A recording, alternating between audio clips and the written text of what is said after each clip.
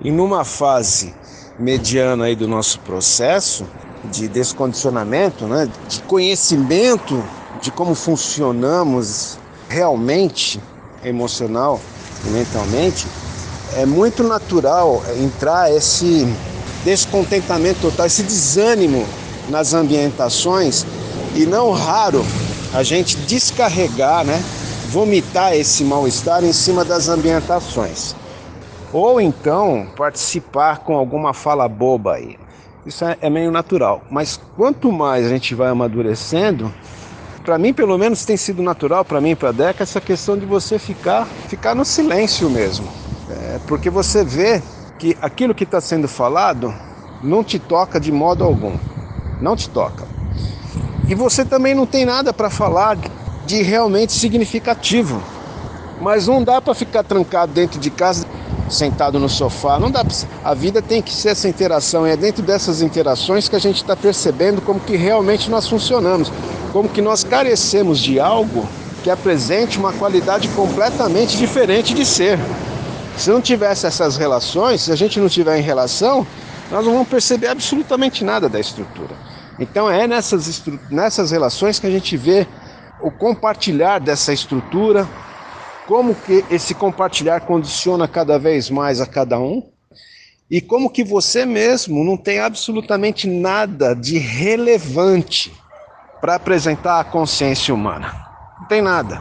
O máximo que você pode apresentar é isso que a gente vem trocando aqui, apresentar a doença. A doença hoje nós podemos falar muito bem sobre a pensamentose, sobre a neurose, né? Sobre os padrões de comportamento obsessivo compulsivo, sobre codependência, sobre tudo nós podemos falar. Mas e daí? O que, que você tem para apresentar que mostra que realmente existe uma saída? Então o que fica hoje é um, um, um silêncio, um aguardo de algo, de uma percepção maior. Porque se não tiver uma percepção maior, é isso aqui é ficar nesse viver xoxo, nesse viver que nada nos toca e que nós mesmos também não tocamos a nada e a ninguém. É, Alt, você tem razão. A gente precisa da interrelação para poder observar como a estrutura funciona. Eu acho que associado a essa questão de ficar calado, vem assim muitas vezes além da, do desespero um desânimo e talvez seja um processo é, associado à ansiedade que é como se a gente desejasse gritar ei ei acorda aí as coisas não são desse jeito. É mais ou menos isso.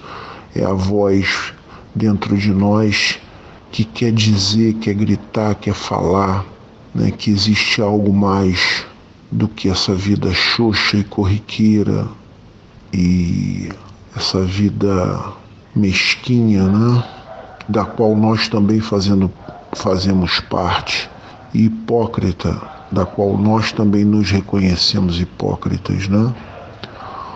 Uma vida sem graça, sem sabor, é uma vida sem nenhum sentido, sem um verdadeiro e profundo objetivo a não ser correr atrás de coisas efêmeras e que não nos acrescentarão nada e nem nos contribuirão para o estado real de Festinealt. É, desde o início do processo de descondicionamento, até esse processo mediano aí em que a, a observação vai se tornando cada vez mais forte, há uma necessidade que é um impulso emotivo reativo escapista, né? quer escapar do mal-estar, quer escapar da solidão de se perceber com, com isso. Há uma necessidade, há esse impulso de você querer encontrar por outras pessoas que vivem isso que você está vivendo, né? que percebem isso que você está percebendo. Então, uma necessidade de você ter com quem poder falar sobre isso.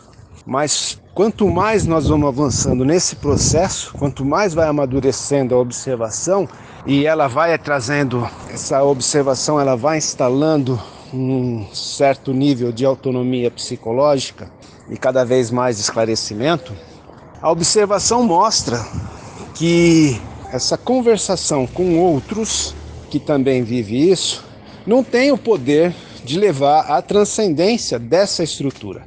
O máximo que a gente consegue nessa conversação é confirmar as nossas percepções ou ter uma percepção a mais de algo da estrutura que até então a gente não tinha percebido. Mas ficamos dentro da estrutura. E você vai percebendo também que chega uma hora que, do mesmo modo que você vê que nas ambientações normóticas não se tem nada de novo para apresentar, mesmo nas ambientações com pessoas que falam sobre isso, você vê que elas mesmas não têm nada de novo para apresentar. Elas estão sempre apresentando somente dentro do nível da estrutura. Então você vai perdendo essa necessidade também de recorrer ao desabafo. Você vai perceber que o desabafo não produz a mutação. Ele é só, desabafo é só um paliativo momentâneo. E nós não necessitamos, a observação mostra que o nosso lance é emergencial. Não dá mais para ficar com placebos. Porque o desabafo é um placebo, velho. A gente precisa de algo real, profundo, que realmente possa produzir uma significativa mutação psicológica. Uma significativa mutação no modo de nós percebermos as ambientações, as relações, a vida em si de uma maneira inusitada que nós não temos nem como imaginar.